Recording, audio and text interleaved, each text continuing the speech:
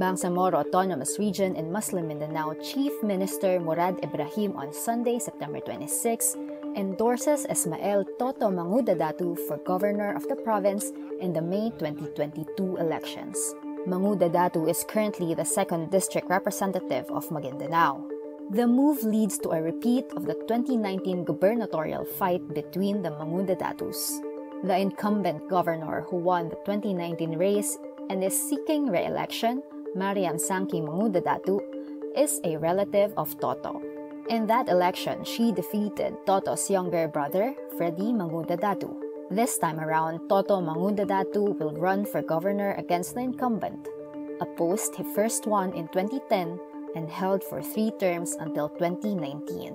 The Mangudadatu's power rose following the involvement of the rival Ampatuan clan in the infamous Maguindanao massacre.